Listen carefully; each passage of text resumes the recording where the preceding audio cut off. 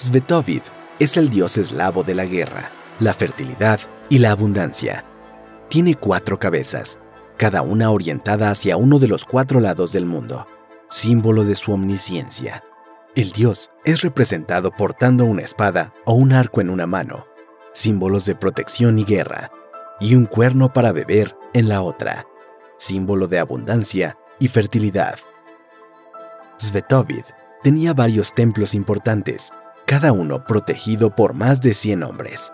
En cada templo se encontraba el tesoro de una tribu protegida por estos guerreros. Las representaciones más famosas de Svetovid se encuentran en la isla báltica Rügen, donde se construyó un gran templo en su honor. Este templo tenía una estatua de Svetovid con cuatro cabezas y un cuerno sagrado para beber. Fue el centro de celebraciones y ceremonias paganas hasta el siglo XII, cuando fue destruido durante la cristianización de la zona. Uno de los mitos más conocidos de Svetovid se refiere a su cuerno sagrado, siempre lleno de vino y atendido por sacerdotes en su templo de la isla de Rügen. El cuerno se utilizaba para la adivinación.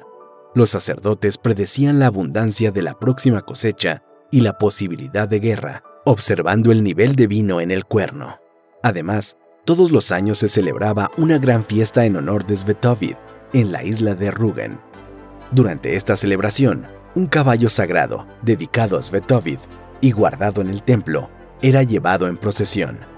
Se cree que Svetovid también era el dios de los caballos y la forma de pisar del caballo durante la procesión se interpretaba como un presagio para el año venidero.